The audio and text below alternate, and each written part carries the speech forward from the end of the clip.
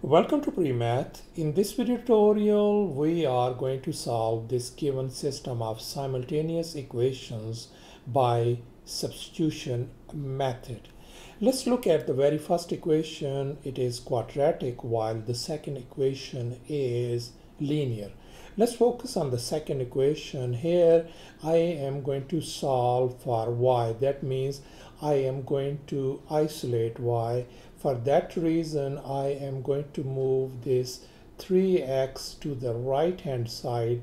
If I move that one, the left hand side is going to leave left with 4y equal to 2 minus this 3x becomes negative 3x since we want to isolate y, I am going to divide both sides by 4. This 4 and 4 cancels out, so we simply ended up with y equals to 2 minus 3x divided by 4 and I'm going to call this equation number 2 and this one the very first equation I'm going to call equation number 1 and now in the next step we are going to substitute y equal to 2 minus 3x divided by 4 from equation 2 into this equation number 1 that what that means is wherever we see y we are going to replace it by this y quantity. Let's go ahead and do that one. That's going to give us x squared so x, equation number one becomes x squared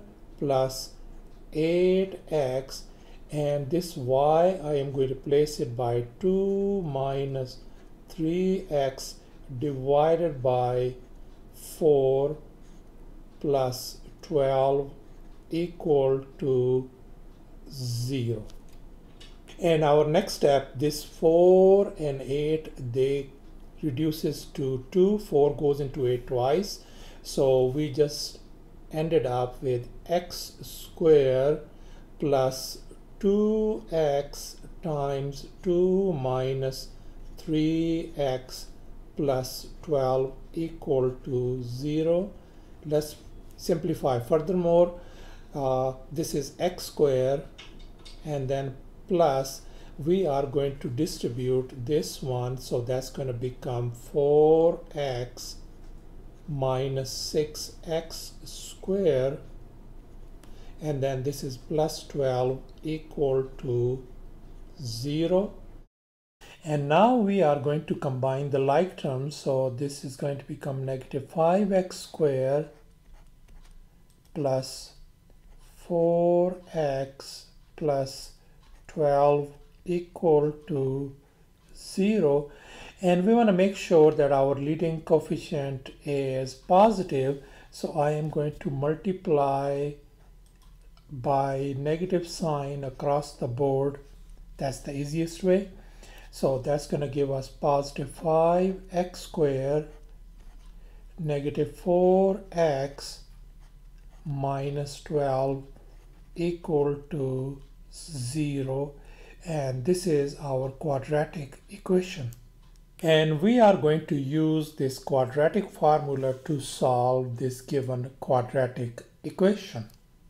And now we need to find a b and c. So we are going to compare our given quadratic equation with the standard form of a quadratic equation which is right up here.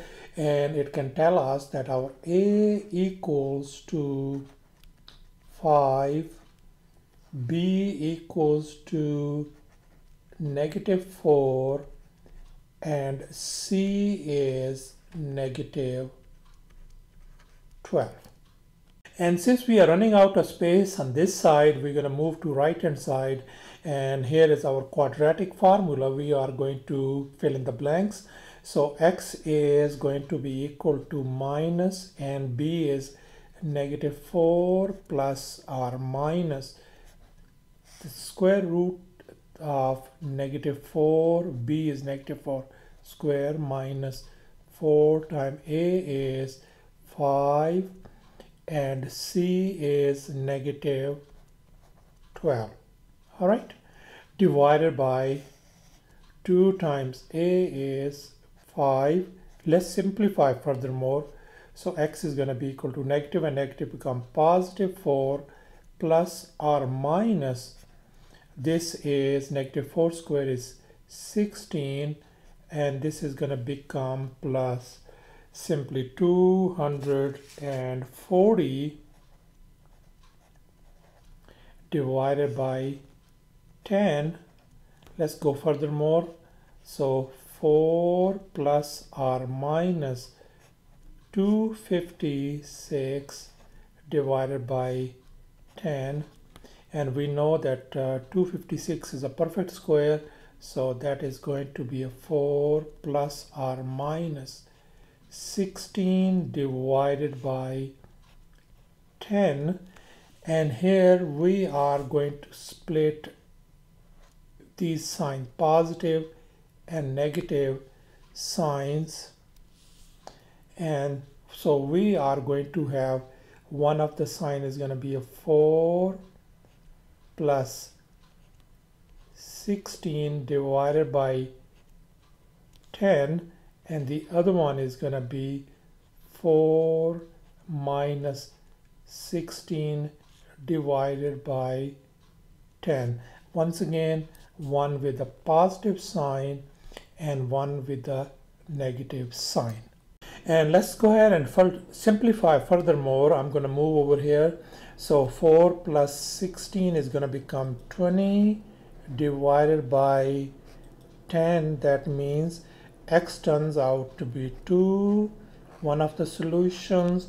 And on this other side we got 4 minus 16 is negative 12 divided by 10 if we reduce this we're going to get x equal to negative 6 over 5 that is another x value. And we know that uh, from equation number 2 y equals to 2 minus 3x over 4 let's find out the y value by just substituting x over here for 2 so that is going to give us y equals to 2 minus 3 times 2 divided by 4 so that is going to give us 2 minus 6 divided by 4 so that is going to be negative 4 over 4 so that means y turns out to be negative 1 value. And now we are going to repeat the same process for another value of x. So y, I can write 1 over 4, I can write this 2x minus 3 over 4 could be written as 1 over 4 times 2 minus 3 times negative 6 over 5.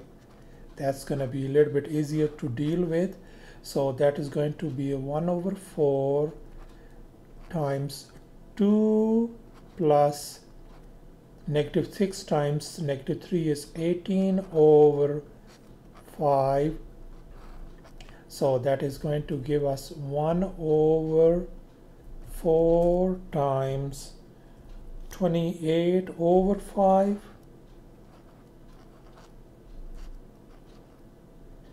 and here you can see that this 4 and 28 cancel out with 7 so they reduce to that thing. So y turns out to be simply 7 over 5